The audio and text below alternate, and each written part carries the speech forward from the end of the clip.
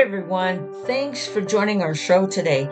I just wanted to take a moment and say that I have a special announcement to make. I'm proud to say that our show is now sponsored by Patriot Mobile. Yes, it is. It is America's only Christian conservative wireless provider. Patriot Mobile is a company that shares our values and supports the causes that we care about, such as honoring our veterans which you know is near and dear to my heart, helping first responders and defending our constitutional rights. Need to learn more about Patriot Mobile and their amazing offers? You can visit my website that is with them. It is patriotmobile.com forward slash graceful. Or you can call them. And don't forget to mention this show, Graceful. When you sign up, you'll get a special discount they'll remove the activation fee from the bill right off the bat. So check us out and remember to put in the code GRACEFUL. Now, let's get it back to today's topic. Hey, folks, this is Joe Rusiello, host of the Sword of the Spirit podcast. Join us as we open up and study the precious Word of God, your King James Bible every Sunday at 3 p.m. Central Time and Thursday at 7 p.m. Central Time, live on Spreaker or on our website at swordofthespiritpodcast.com.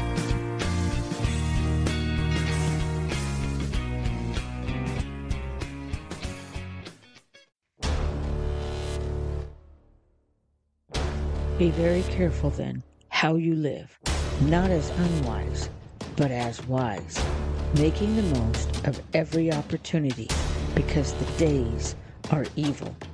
Finally, be strong in the Lord and in his mighty power. Put on the full armor of God so that you can take your stand against the devil's schemes. For our struggle is not against flesh and blood, but against the rulers, against the authorities, against the powers of this dark world, and against the spiritual forces of evil in the heavenly realms. Therefore, put on the full armor of God, so that when the day of evil comes, you may be able to stand your ground. And after you have done everything, to stand.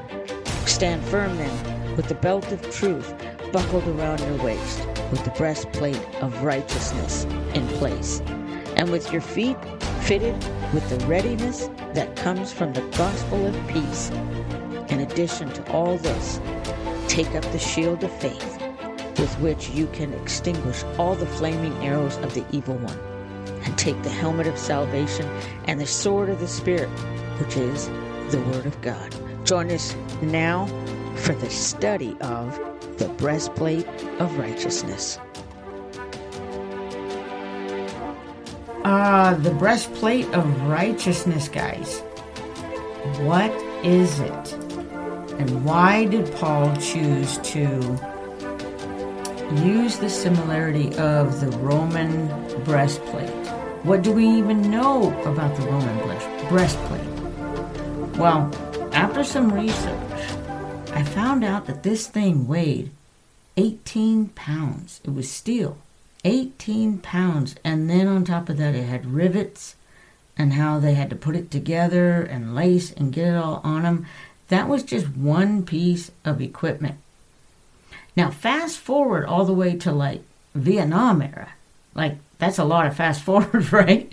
But there, they called, uh, at that time, speaking from experience as far as veteran status, the Vietnam vets, their breastplate is what they, what you guys know that we're using the terminology, but to us vets, it was called a flak vest. And it's F L A K flak vest. That thing only weighed about three pounds back then. Now, fast forward to when I was in during Desert Storm. That thing weighed probably, I think at the last time I heard, it was about 20 pounds. And it was a flak vest and it had steel plates in it.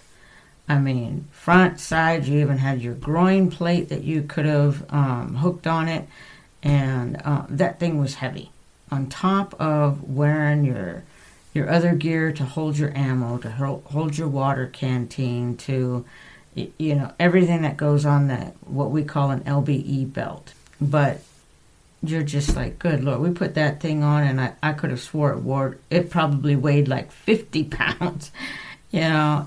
So now it's all a matter of present day armor is now all about the kind of material that's in it and what you are using it for will depend on how much of the steel plates that are go in it or other material that they use in it.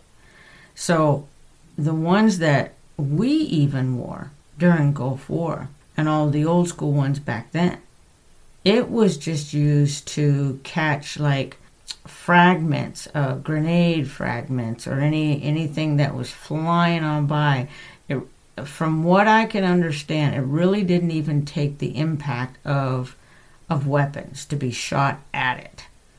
And you're lucky if it did. So you can find flak vests all over the internet. You can buy them. Guys use them for paintball, you know, and those are just that's not even the real grade flak vest that we had in the military. And there's different ones too, according to the job that you did. And now the flak vest that the Navy had was different compared to Army, you know, so it was very, very, very, very different. And so Roman times, theirs was pretty heavy on top of everything else that they had to carry on them. I mean, basically, you are using this thing to be able to, everything that you have on you, you could lay out and just live on for about the next three days or a week. You know, you were supposed to carry everything, your whole house on your back. All right, so to put on the full armor of God is described by Paul, the breastplate of righteousness. What good, here's a question, what good is a breastplate? And more importantly, what does it have to do with righteousness? Well, we're going to find out. All right. All right. Do you guys remember the story there's an old story in the Bible about uh, King Ahab, and he was pretty like pretty bad king. He was pretty evil, he was wicked, and um, this leader allowed a man to be killed just so he could have his vineyard. He wanted this guy's vineyard. And if you want to read that story, it's over in First Kings 21. All right. This king. And Israel always dealt with a wicked king, a good king, a wicked king, a good king. I was just like, Lord, why didn't you just like just give him a good king and call it good? I mean, but they just kept going through it. But it really it really wasn't the Lord when I stopped and had to think about it. It was the people of Israel and then those in rule over Israel that chose all of this. So here, long story short, on Ahab, guys, God prophesied that Ahab would die in this battle. Ahab decided that, well, I'm going to outsmart death. And he disguises himself and he calls in a favor to King Jehoshaphat. And he's like, hey, you be me and I'll be you. And we'll go out to battle. You wear my armor because they're going to try to kill me. Well, stupid Jehoshaphat decides to do it, and he wears his buddy King's armor, King Ahab's armor. Well, they go out and they're going to war, and their enemy, their captain, their commander, whoever it was at that time, tells all of the soldiers, hey, don't fight with anybody else. Nobody smaller, nobody greater in ranks, whatever. The goal is to get King Ahab. They're they're chasing down the enemy. They see the armor of King Ahab and they think that this is King Ahab and they're like, "Oh, there he is." And they're in pursuit. And they're chasing him and chasing him, chasing him. Well, finally King Jehoshaphat, he goes, "Screw this." And he rips off the armor and he's like, "I'm King Jehoshaphat." Well, all of the the soldiers saw that it wasn't the king Ahab, and they turned back away, um, went back and left from pursuing him. But here's the catch, because see, God prophesied that Ahab would die, and that he would also die in battle. Well, there was this anonymous man who whips out a bow and shoots an arrow and then just unknowingly like just like oh coincidence strikes the king king ahab right between the scale armor and the breastplate he got it right into one of those areas where the armor wasn't fully protecting him and it pierced him he bled out and died talk about poetic justice on an unrighteous king, right? Due to an opening in the armor. So, how does that, and I'm pretty sure you guys were like, okay, where's she going with this? Ah, how does the armor protect us from that opening? And that's what we're going to go look at today. All right. So I say it is putting on righteousness. And what purpose does a breastplate serve? Well, the breastplate during the Roman times, it was a central part of the Roman soldier's armor, right? It provided protection for the torso, which was all of our vital organs, our heart, our lungs, and, and so on, right? So without this breastplate, a soldier would be just like you're like um, you're just open. You're you're out there. You're asking for death right there. Any attack, you'd be gone. One shot, you'd be gone. So with a sturdy breastplate, the very same attacks will still come, but they would be ineffective and useless as blows would would bounce off that armor, right? at least during that time, because all they had was swords, spears, arrows. They didn't have like M16s and ARs and none of that stuff, right? But it's still steel. What would it have done? Is uh, is a good question. Why is righteousness associated with the protective armor like a breastplate? Well, let us look up Proverbs and I have my Bible, as always, sitting here in front of me.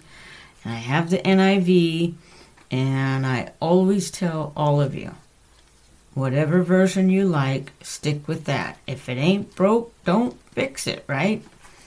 All right. Proverbs 11, and it is verse 4. And it says, Wealth is worthless in the day of wrath, but righteousness delivers from death. So, what does righteousness have to do with the breastplate? Well, it delivers us from death. There's the answer right there. So, without righteousness, we leave ourselves open to just certain death. But with righteousness, just as like the breastplate, those those fatal attacks of our enemy, they're thwarted, coming from Satan himself, trying to attack us. Our heart, what does our heart have to do with any of this? So you're saying to me, Monica, well, okay, hold on. The enemy is really not going to like shoot us with a gun. Okay, let's let's back up there, guys. Satan has children that are evil if we are children of God, don't you think that the enemy, Satan, has his children as well? The wicked. The wicked belong to Satan. You don't think that somebody can come by and uh, try to shoot you? Now, you're like, well, that's a stretch, Monica. You know, I'm really going to walk around with a breastplate? Well, no, but we're talking spiritually now, aren't we? the breastplate of righteousness. All right. So this is what I'm trying to get at. What is righteousness? Let's take a look at because there is a difference between righteousness and holiness. And that's a whole nother podcast. But we're going to look up today what is righteousness? And let's go over to Psalms 119, the longest book in the Bible, our longest chapter. And we're going to go over to verse 172. 172. Doesn't that sound odd? All right, it says, May my tongue sing of your word, for all your commands are righteous. So, what is righteousness? All of God's commands. Who are we? Children of God. What does He tell us to put on? The breastplate of righteousness. What is righteousness? All of God's commands. All right? First John 3. Flip way over towards the end, and you're going to go to First uh, John 3 and it is uh, verse 4. And it says, Everyone who sins breaks the law. In fact, sin is lawlessness. So, what is righteousness? Sin is God, or righteousness is God's commands. What is it not? It's not sin. It's not lawlessness. All right. 1 Corinthians 15, verse 34. All right, we're going over to 15, guys. Verse 34, it says, Come back to your senses as you ought and stop sinning, for there are some who are ignorant of God. I say this to your shame. And I think it's the King James Version. It says, Awake to righteousness and do not sin. For some do not have the knowledge of God. I speak this to your shame. So, what is righteousness? God's commands. What is it not? It is not lawlessness. It is not sin. And God even says, Awake to righteousness awake to the fact that you cannot continue to live in sin and you have to follow the commands of the Lord.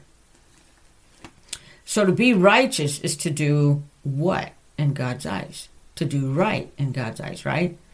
So God's commandments are righteousness. And just like we found out in contrast, lawlessness is sin and sin is lawlessness, right? Sin is the opposite of righteousness. That was the whole point of looking up all these scriptures. So I was hoping that you guys caught that that sin is the opposite of righteousness. So to be righteous is to obey God's laws of love, right? What se- here's one. What separates us from God, causing him to withhold even his protection? And you are like, wait, God will withhold his protection? Isaiah 59, 1 through 2. Isaiah. I was looking up all these scriptures while digging into all of this, guys. And so I am like you going, wait, there's a lot of scripture going here, there, and everywhere. I knew this was going to be a, like a knee deep study, and I couldn't just go, all right, you have to put this on to protect you from the attacks of the enemy and you have to put it on every day. Even though I did go through that at one point with with Patreon subscribers, but now we're going through a a deeper study into all of this. So I had to really just get knee deep. all right. Isaiah 64. Or no, wait. I'm sorry. I'm looking at my notes. All right. Isaiah 59. Sorry, guys. Isaiah 59. And we're going to go verses 1 and 2. And it says, The Lord's hand is not shortened that it cannot save, nor his ear heavy that it cannot hear. But your sins have separated you from your God, and your sins have hidden his face from you, so that he will not hear. So, does God withhold his protection? Yes, because of the sin in our lives. So, see, sins are actions and thought that go against God's laws, right? Because righteousness is obeying the commands of the Lord, right? All right. So, since they're in conflict with God's way of living, and they're harmful to ourselves and to others because of what we project on others with our anger or our words, you know, our actions, even to that point, God, in His perfection and His justice, He won't associate with us if we go down the path of sin and evil. We cut ourselves off from God and His protection because God will separate us from each other because of the sin. It says, not God will. Let me take that back. Our iniquities separate us from God. God never departs. There we go, Monica. God never departs from us. We draw near to God or we draw away from God based on how we are living. If we are obeying the commands of the Lord, we are drawing near to God. But if we are consistently living in sin, consistent, consistently not following the ways of the Lord, then guess what? We are separating ourselves from the Lord. I take that back. If I I misspoke in my notes about we sep- uh, God separates us. I should have rewritten that one. Bad, bad, bad. Now, it's interesting to see that in this same chapter, Isaiah mentions that God Himself puts on righteousness as a breastplate. Look at verse, uh, I think it's 17. Let me go back to it, guys. I hate when I close my Bible up or close that book up because I'm like trying to hurry and get to the next one for you guys and end up messing it all up. So thanks for waiting on me. all right, we're going to look at verse 17. It says, He put on righteousness as his breastplate and the helmet of salvation on his head. Interesting. What did we just talk about last week? Helmet of salvation. Even the Lord puts it on. He put on the garments of vengeance and wrapped himself in zeal as in a cloak. Interesting. Interesting to notice that God Himself puts on righteousness as a breastplate. But it, it may be part of what inspired Paul to use this analogy because of what Isaiah said. Ah, I just put it together. It's not even in my notes. so, this should be an easy one then. My question in here says, Whose righteousness should we be wearing then? Ah, everybody says, okay, we should, it's the Lord, right? But what do we do? It's the Lord's righteousness. Yes, you guys are right. But let's flip over to Isaiah 64 and let's go to verse 6, guys. It says, All of us have become like one who is unclean, and all our righteous acts are like filthy rags. We all shrivel up like a leaf, and like the wind, our sins sweep us away. Interesting, guys. So, righteousness may deliver from death, but whose righteousness righteousnesses are we talking about? I try to say that one. righteousness is the above scripture, Isaiah 64 6. That one. Scripture makes it clear that it's like our individual, now that I'm kind of looking over, it's like our individual level of righteousness is on par with filthy rags. And when we're looking to protect ourselves from death, our filthy rags pretty much make for a lousy breastplate, right? Because we can't do it ourselves. All right, guys. So let's let's go over to Jeremiah 23 6 and then from here on we're going to be like going through like several other scriptures kind of quickly here um because i have so much to get through i have like pages of notes again guys I know I am full of notes, but believe me, I was sitting here doing this research and looking at all this. I was getting knee deep in this search. I was having a good time just going, wow, wow. Okay. It's this righteousness that God calls us to put on. And what does this righteousness actually mean? So that really got me, you know, pretty knee, knee deep into it. So, all right, Jeremiah 23, and we're going to verse 6. So hopefully that gave you a little bit of time to find it. All right, and it says, In his days, Judah will be saved, and Israel will live in safety. This is the name by which he will be called, the Lord, our righteous Savior. All right. The Lord our righteousness. That's what I caught in that and in this one. All right. This is the righteousness we should be wearing. All right. And here we go. We're getting ready to go through some scripture here. All right. Let's go over to um, Job. And it is Job 36 I'm going to use my Bible app because I know this is like a lot of scripture to look up. And just for the sake of time, guys. So, Job 36, and it is verse 3, I think it is. And it says, I get my knowledge from afar. I will ascribe justice to my Maker. All right, this I'm going to bring on. Let's go through all the scripture and then I'll sum it all up, okay? All right, Psalms 5, and it is verse 8.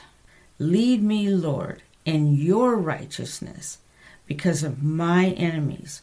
Make your way straight before me. All right, and then Psalms 23 is, we all know that one. That is the the Lord is my shepherd one, right? And that is verse 3. He refreshes my soul. He guides me along the right paths for his name's sake. All right, now we're going to go to 24 and we're going to go to verse 5. They will receive blessing from the Lord and vindication from God, their Savior. Last one in this section is Psalms 71, guys, and it is verse 16. I have found eSword and oh, there's another one that I use for knee deep studies like this where I just can eSword I had to mess with. And um, it's an online Bible study thing. You can look up any scripture.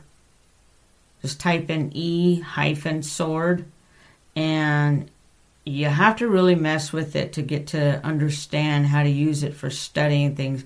But you can basically bring up any book of the Bible, look up the verse, pick any verse, it'll read it, it'll give you notes, it'll give you um, how it relates, they'll explain it. It's really good, but you got to really be able to mess with it to start understanding it and use it because it can get kind of tricky. But it is a wealth of information when you learn it and a good tool to use while you're doing deep dives like this. So I would highly recommend it. All right, Psalm 71:16 says, "I will come and proclaim your mighty acts, sovereign Lord. I will proclaim your righteous deeds, yours alone." So all of these scriptures show that true righteousness it comes from God. It's God's righteousness. It's not our own, which must serve as our breastplate and our defense against Satan, is basically what all of these scriptures that we just whizzed right through are, are basically summed up as this is what we have to do. They are they serve us as that armor that we have to put on. They it serves as a defense against Satan that we have to proclaim God's righteous deeds. We have to follow after God's commands. That is putting on the righteousness. If the Lord says, love your enemies, then that's his command. As hard as it is to do that, it is following it. Is is is being righteous tough? Yes. Yes, it is. Think we can ever do it? No. We can strive for it, come close to it, get up, dust ourselves off, and try, try, try again. Psalm 71:19 it says, "Your righteousness, God, reaches to the heavens. You who have done great things, who is like you, God?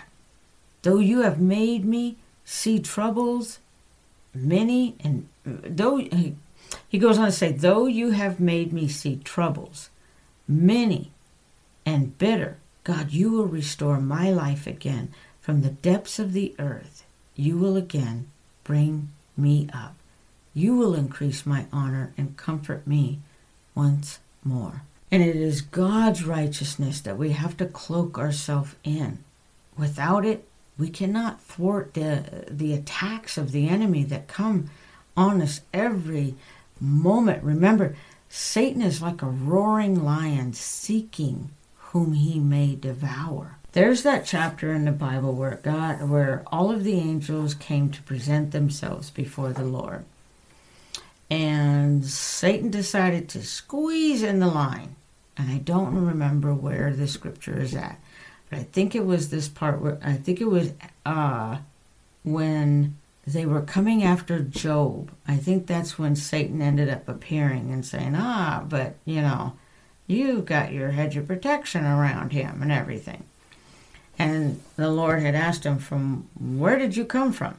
And Satan says, He was roaming back and forth from one end of the earth to the other. He's always seeking for any opportunity to get us. And that's why it's so important, as we discussed last week, the helmet of salvation because that's the thing the one thing that the enemy uses is our salvation against us ah you're not really saved see you do this see you just said a bad word you just thought those wrong thoughts. You're so you act out in your anger see? So he's always looking to get into our minds.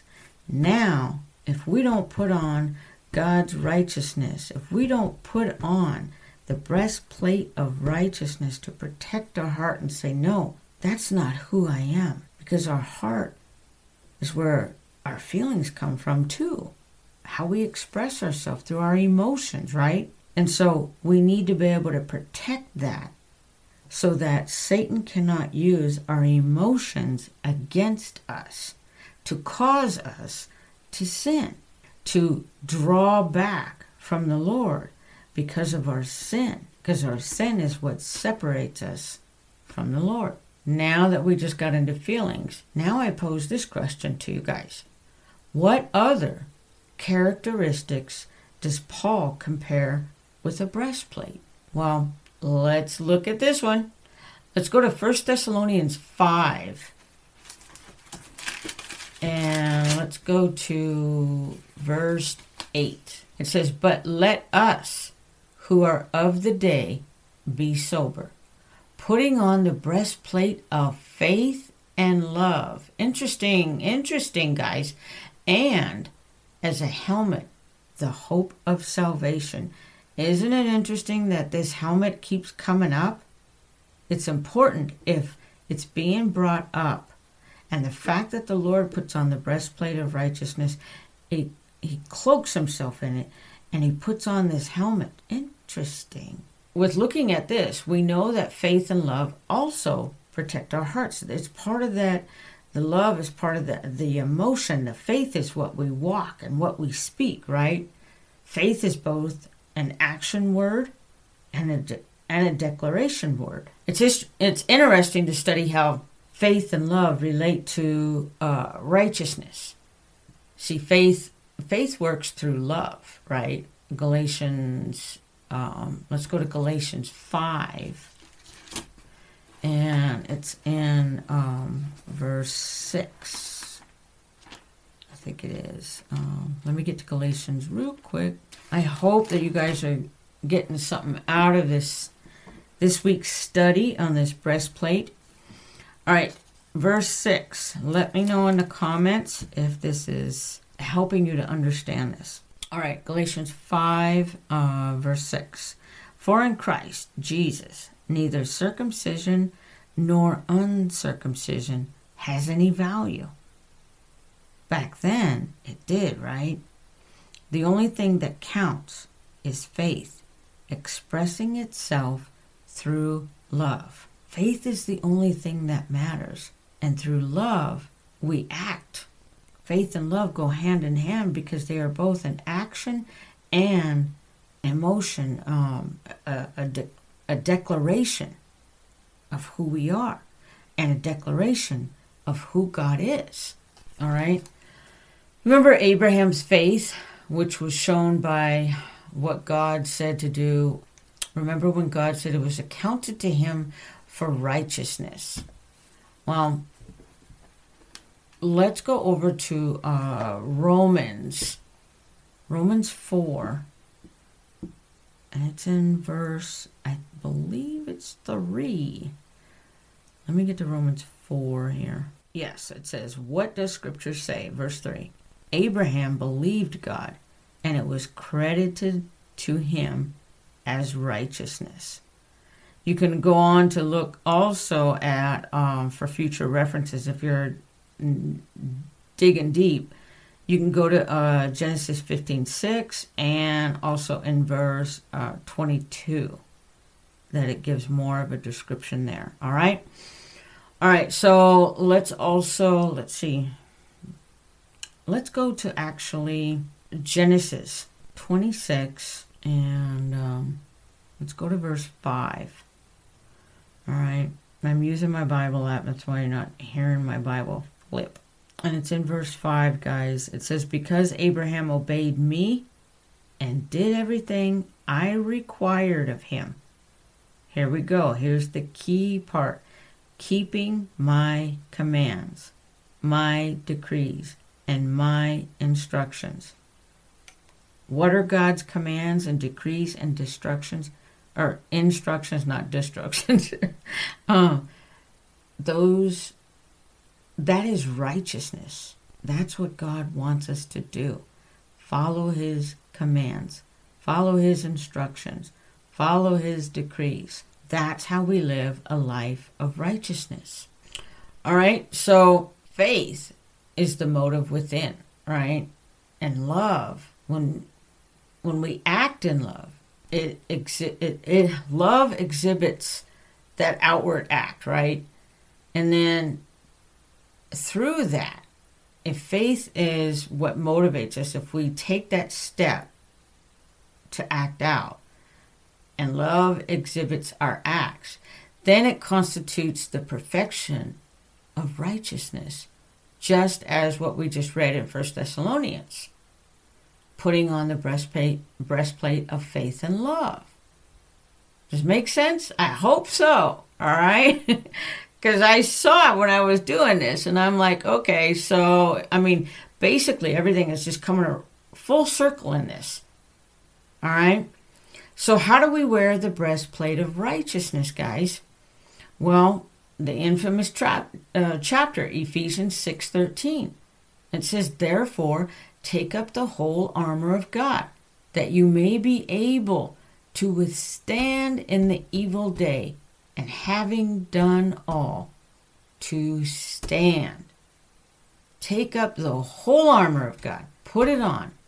I have found what while doing this knee deep study, um, I started thinking about it, and I was like, okay, I'm going to have to do this different as compared to how I did it um, on Patreon and talking about it. And the Lord began to walk me through it as far as you need to read what the breastplate is. And I'm like, okay.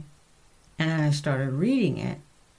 And then I got like really curious. And then I understood it enough to go, even add it to my prayers. You know, every day when I would get up and um, have my time with the Lord, after I got done talking to the Lord about whatever it was was on my heart at the moment or that the Lord had just led me to pray about, I started praying the the how do I say it?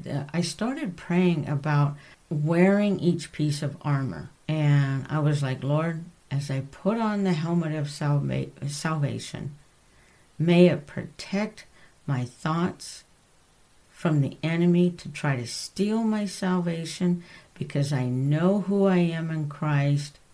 You know, I am bought through the, the blood of Jesus Christ that shed over my life, that shed over all of my sins.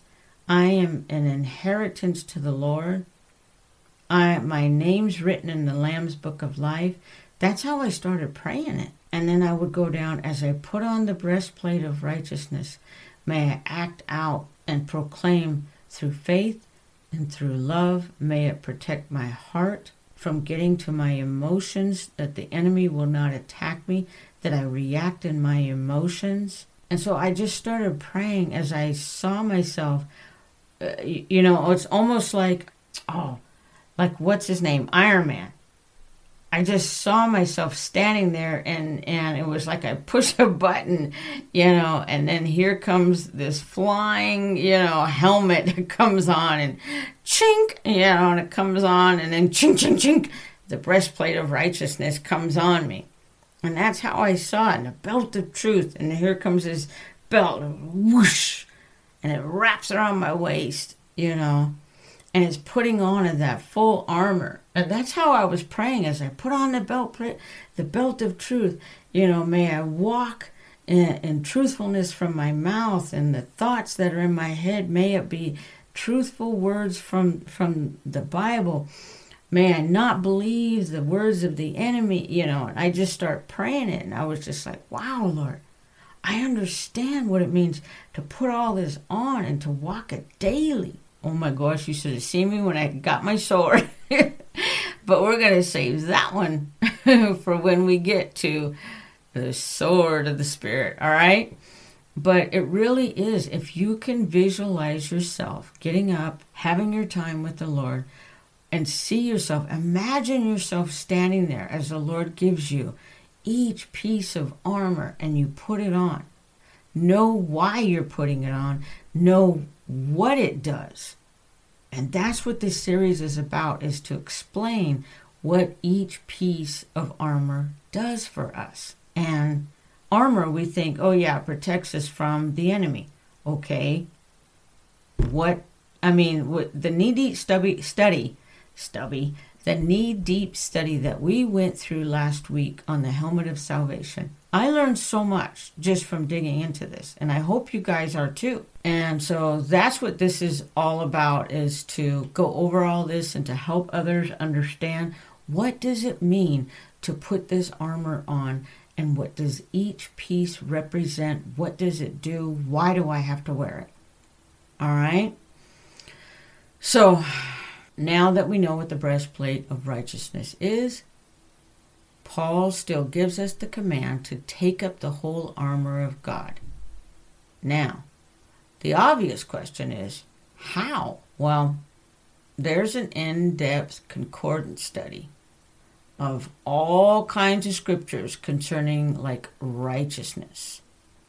And there are actually 301 in the New King James Version concerning righteousness which really shows that servants of God in the Bible who had righteousness all had it because they followed God's way, right?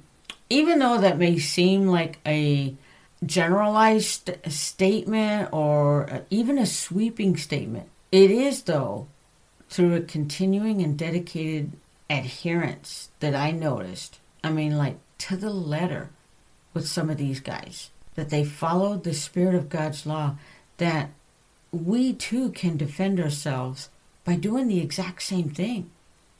I mean, if future proves past and we look at what they did and it benefited them in those times, then why are we not mimicking our Bible heroes instead of talking about them. If Moses could do it, if David could do it, if Ruth could do it, if Esther could do it, they're no different from you and I today. They just lived in a different time frame. They were still human. So once we have we put on this breastplate of righteousness, we have to be sure not to remove it though, guys.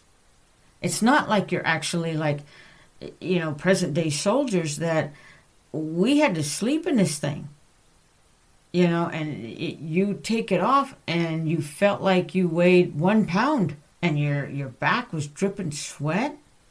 Your uniform was soaked, your t shirt was soaked and stick it to your back. We can't remove it. And let's look up um, Ezekiel. We're going to go to Ezekiel 33 verse 13, all right? I'm trying to get there, guys. Here we are, Ezekiel. it just flows. 33, verse uh, 13, guys. If you haven't found it, it is on page 1342. just saying. okay.